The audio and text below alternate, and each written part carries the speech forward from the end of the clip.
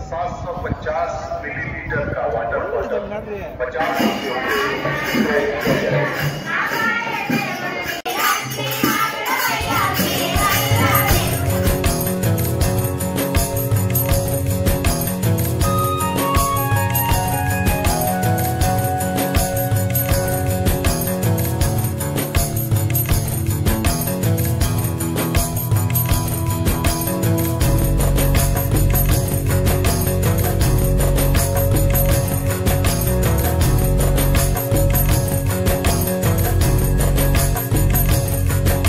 जय श्री राम दोस्तों, श्री वेंकटेश्वर बालाजी इस दुनिया का सबसे बड़ा हिंदू मंदिर है। यहाँ पर तिरुमाला में हर दिन हज़ारों श्रद्धालु तिरुपति बालाजी के साठ हज़ार दर्शन के लिए आते हैं। ये मंदिर श्री वेंकटेश्वर स्वामी को समर्पित है, जो कि विष्णु भगवान के अवतार माने जाते हैं। अपने भक्तों के कल्याण के लिए विष्णु भगवान के अवतार श्री वेंकटेश्वर स्वामी स्वयं ग्रेनाइट की मूर्ति के रूप में खड़े हैं। अगर आप फ़र्स्ट टाइम तिरुपति बालाजी के दर्शन करने वाले हैं। या तिरुपति बालाजी आना चाहते हैं तो ये वीडियो आपके लिए काफ़ी इन्फॉर्मेटिव है।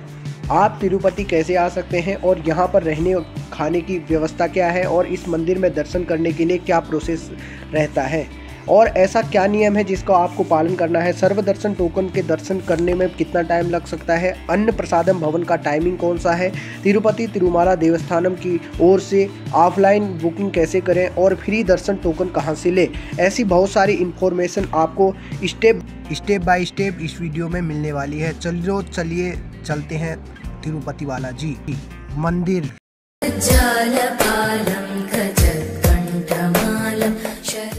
आंध्र प्रदेश की तिरुपति से करीब 22 किलोमीटर की दूरी पर तिरुमाला के पहाड़ों पर सी लेवल 2500 फी- फीट की ऊंचाई पर भगवान श्री वेंकटेश्वर स्वामी बालाजी का मंदिर बना है। ये तिरुपति का रेलवे स्टेशन से तिरुपति देश के सभी मुख्य रेलवे स्टेशन रेलवे कनेक्टेड है।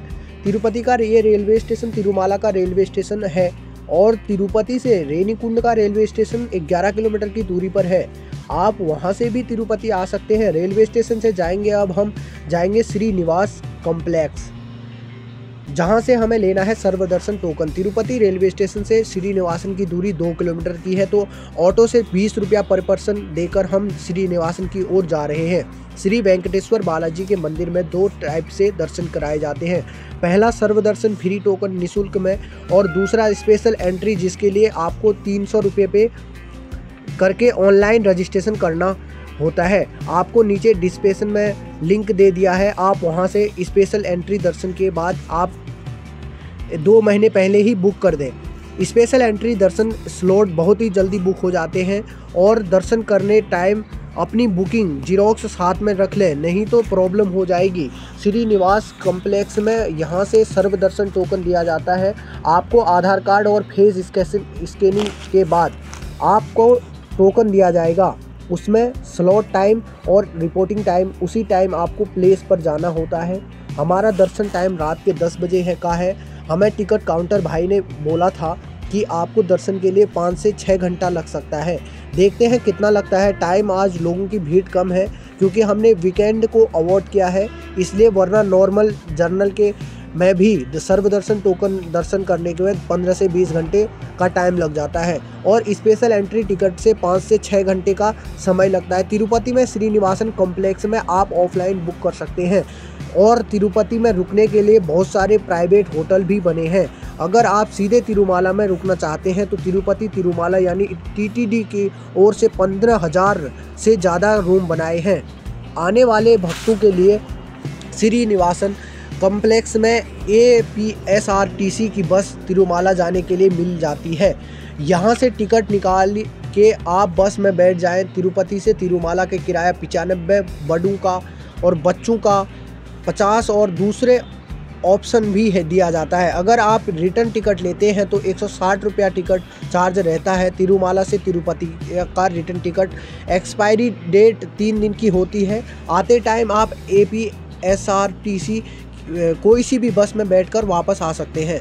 या फिर आप तिरुमाला जाने के लिए एसी बस की टिकट लेते हैं, उसका चार्ज एक सौ बीस रुपया रहता है और डायरेक्ट रेलवे स्टेशन के बाहर से आपको हर 10 से 20 मिनट के में तिरुमाला जाने के लिए बस मिल जाती है।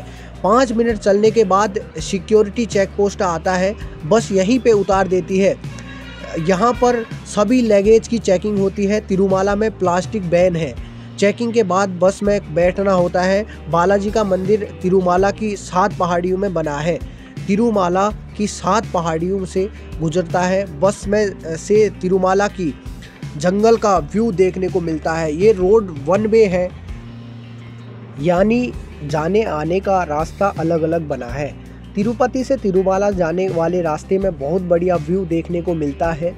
तिरुपति से तिरुमाला जाने के लिए बहुत ही अच्छा व्यू आपको देखने को मिलता है। तो दोस्तों, देखिए व्यू